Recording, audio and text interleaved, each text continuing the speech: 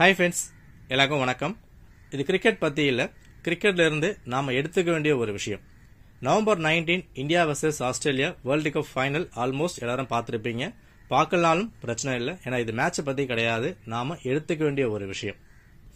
So world cup twenty twenty three India நல்லா தான் perform பண்ணாங்க. But end of the day Australia ஃபைனலில் கப்பை தட்டி தூக்கிட்டாங்க. அதுக்கு பாராட்டி தான் ஆகணும் ரைட் அதெல்லாம் ஓரமாக இருக்கட்டும். ஃபைனல் மேட்ச்சில் அகமதாபாத் கிரவுண்டில் கிட்டத்தட்ட ஒன்றரை லட்சம் மக்கள் எங்கே பார்த்தாலும் நீல வண்ணம். ஃபுல்லாக இந்தியன் சப்போர்ட்டர்ஸ் ஆஸ்திரேலியாவுக்கு அந்த பிளேயர்ஸ் பதினஞ்சு பேர் அண்ட் சப்போர்ட் ஸ்டாஃப் மொத்தமாக ஒரு இருபத்தஞ்சு முப்பது பேர் தான் சப்போர்ட் பண்ணியிருப்பாங்க. இவ்வளோ சப்போர்ட்டர்ஸ்க்கு எதிராக கிட்டத்தட்ட மேட்ச் பார்த்தீங்கன்னா அந்த பதினஞ்சு பேர் வர்சஸ் ஒன்றரை லட்சம் மக்கள் இந்த மாதிரி தான் மேட்ச் வந்து நகை இருந்தது.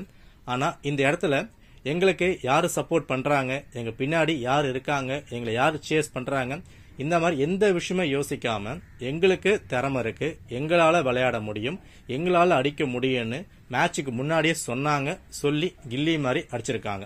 இது முக்கியமான ஒரு பாயிண்ட் இதுல வந்து யார் ரன் அடிச்சாங்க ரன் அடிக்கல அதெல்லாம் ஓரமா வச்சுப்போம். முக்கியமான பாயிண்ட் அவ்வளோ ப்ரெஷர்ல அவ்வளோ மக்களுக்கு மத்தியில எங்களால பண்ண முடியும்னு சொன்னாங்க அதை வந்து இப்போ நகை செஞ்சிருக்காங்க. இதே கான்செப்ட் தான் நம்ம லைஃபா இருந்தாலும் எக்ஸாமா இருந்தாலும்.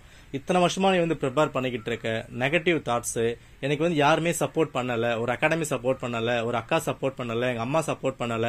இந்த மாதிரி விஷயங்கள்லாம் எதுவுமே யோசிக்காம உங்களுக்கு உங்க மேல் நம்பிக்கை வந்திருக்கணும். என்னால என்ன வந்து பின்னாக பண்ண முடியும்? உங்களை நீங்க தான் மோட்டிவேட் பண்ணிக்கணும். இந்த ஸ்போர்ட்ஸ் வந்து எடுத்துக்கிட்டோம்.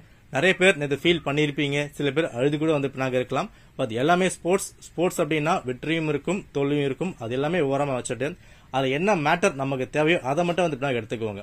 ஸோ வேர்ல்ட் கப் நீங்க கிளியரா வாட்ச் பண்ண தெரிஞ்சிருக்கும். ஆரம்பத்தில் ஆஸ்திரேலியா இந்தியா கிட்ட தோத்தாங்க.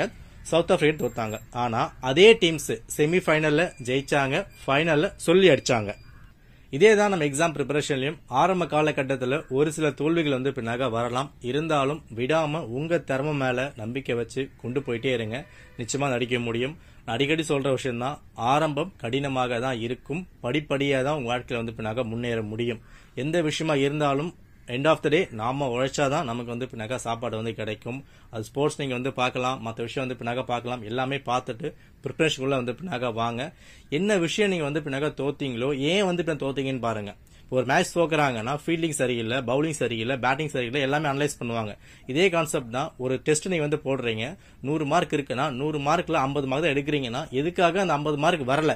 அந்த ஐம்பது மார்க் வந்துடுச்சு அது ஓரமா அந்த விட்டுடுங்க. அந்த ஐம்பது மார்க் ஏன் வந்து வரல ஏன் வந்து தப்பாச்சு என்ன பண்ணா சரி பண்ண முடியும் நெக்ஸ்ட் டெஸ்ட்டை கரெக்ட் பண்ண முடியும். இதை வந்து பின்னாக ஃபோக்கஸ் பண்ணுங்க. எனக்கு யாரும் சப்போர்ட் பண்ண மாட்டாங்க எனக்கு யாரும் கொடுக்க மாட்டாங்க நம்பிக்கை இருக்க மாட்டேது டிமோட்டிவேட் பண்றாங்க. இது எல்லாமே ஓரமா வச்சுட்டு உங்க மேல மட்டும் நம்பிக்கை வைங்க எண்ட் ஆஃப் த டே நீங்க தான் வந்து எக்ஸாம் எழுதணும் நீங்க தான் வந்து பின்னாக படிக்கணும் நீங்க தான் வந்து உழைக்கணும் நீங்க தான் சேலரி வந்து வாங்க போறீங்க. எல்லாருமே ஒன் பர்சன்ட் மட்டும் தான் ஹெல்ப் பண்ணுவாங்க. Ninety nine percent self motivation தான் இங்க அவசியமானதா இருக்கும். ஸோ புரியும் நினைக்கிறேன். எல்லாமே ஓரமா தூக்கி போடுங்க.